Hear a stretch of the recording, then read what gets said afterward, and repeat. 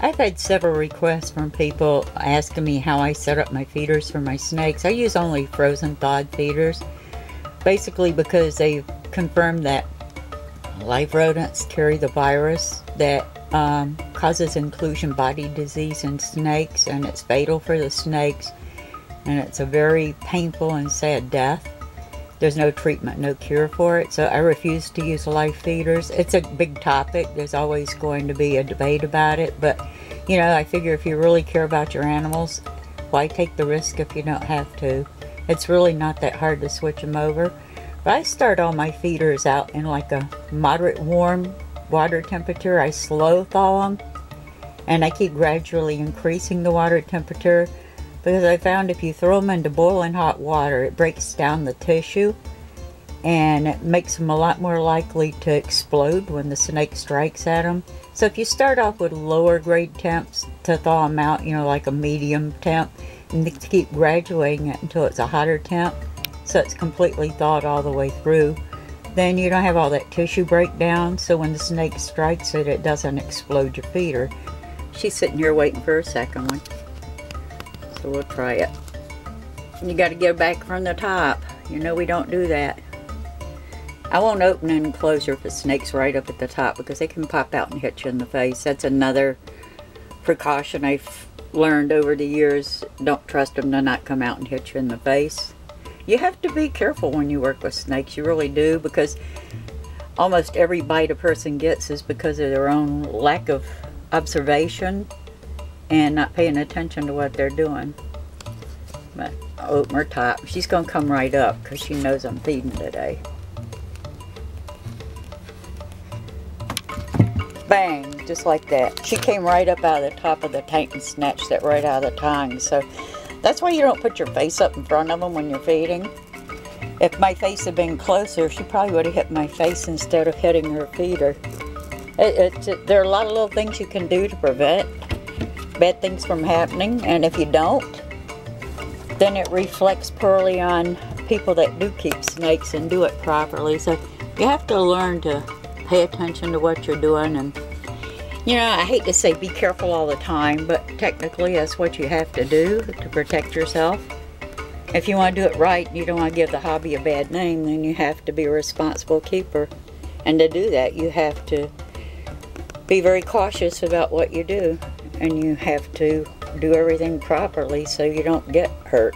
So you don't have to deal with people talking more negative things about snakes because someone made a mistake. That's why I show people what feeding aggression consists of. Now she's in feeding mode.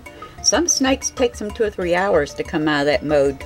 Uh, so they stop being so aggressive, but watch. That's feeding aggression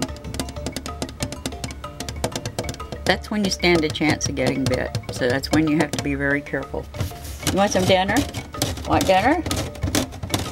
That'll get you bit right there if you put your hand in there.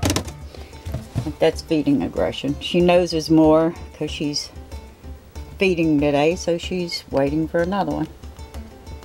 That's when they're not, you know, they can't always tell the difference in your hand and the feeders temperatures and whatever's the warmest is going to be a target. Oh my big jaw. Don't unhinge. You're not done eating. The misconception about snakes, it, it just boggles my mind. You know, snakes are just as much individuals as people are. They have their likes and dislikes, and they're not all the same. They have their triggers. They'll set off an aggressive or defensive mode. They have different things that set them into a calm, relaxed mode. They have to be treated just like people should be treating each other. Ads should be because they don't, but snakes are just as much an individual as people are. You know, there, there's some things that they just don't like, and if you know they don't like it, try to avoid putting, in, putting the snake in a situation that has to cope with it because that's stressful for the snake. You learn in time working with them how to read their body language so you know what sets them off and what calms them down. It's, it's a learned experience. You make a lot of mistakes in the process of learning, but you don't make a mistake and learn anything from it, then it was a waste of your time. You accomplish nothing. A point that I make to people all the time is that a lot don't understand why I don't take my snakes out of their enclosures to feed them. There are basically two important reasons why I don't, because many snakes will stay in that feeding aggression mode for up to two hours, some even longer after you're done feeding them. And they'll always pop at something that's warm thinking they're going to get more. So my number one rule is all my snakes eat in their enclosures. That's why I hook train them so they know when I open the top, it's not always going to be food coming toward them. If they get attacked by the hook, then they know that it's me and I'm planning to reach in and then they back off. But the thing with that is you just, you know, it, it's a personal choice. But to me, it just doesn't make sense to feed a snake outside of its enclosure. You're taking a risk when you, especially a big constrictor, you're really taking a big risk when you reach in to lift that snake up to take it out and put it back in its enclosure because it's still in feeding mode and it's still a very aggressive animal because it thinks it's going to be eating more. So I don't feed my snakes outside the enclosure for that reason. Another reason is because if they've just eaten a big meal, if they've just had a big meal and you're picking them up and handling them not only are they still in feeding mode and they still have that natural feeding aggression, but you're also stressing them out because of the simple fact that they just ate. So personally, I just will not feed my snakes outside of their enclosures. There's no reason why. It's a lot easier to hook train them so you don't have to move them around after they've eaten a big meal and upset them and stress them out and it really reduces the risk to you if you're not having to pick them up and move them. I mean, I've done it with my big snakes before, but why take extra steps that set you up for a bad situation if you really don't need to? That, that's just my philosophy, and there's a reason why you really need to be setting yourself up for a bite and stressing your snake out by handling it immediately after it's eating.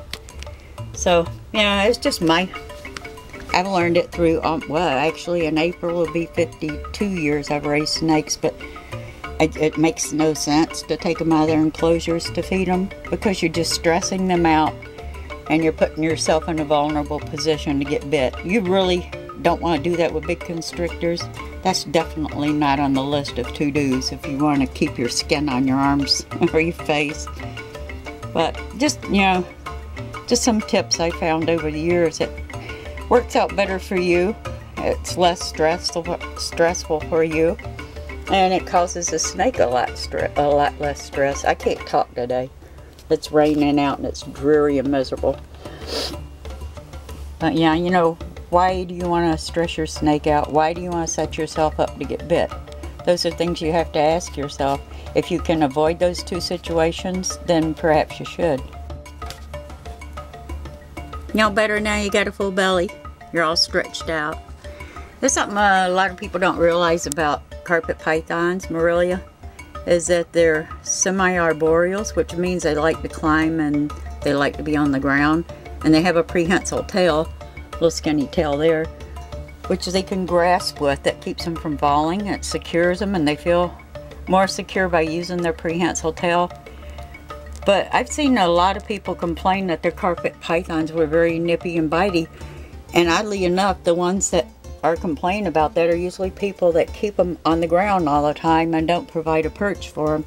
So it's important to them to be able to be up in the air, especially when they're feeding because it's a natural feeding posture for them to, like the arboreals, to hang from a branch and strike down at their food and then coil it up and wrap it and pull it into their mouths. So it's easier for them if you can give them a perch.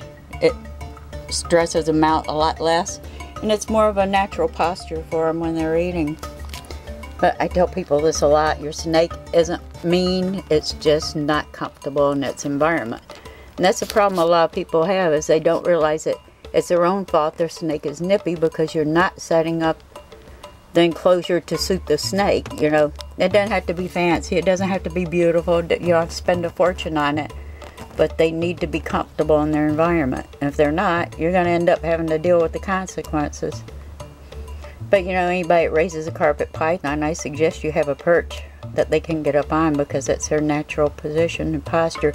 Now see, she's still in feeding aggression. She's watching every move I make. Even though she's stretched out and she's ready to digest her food, she's still watching me. Watch.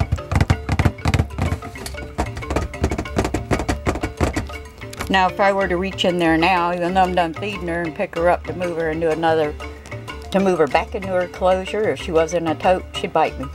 That's it, straight up. No way around it.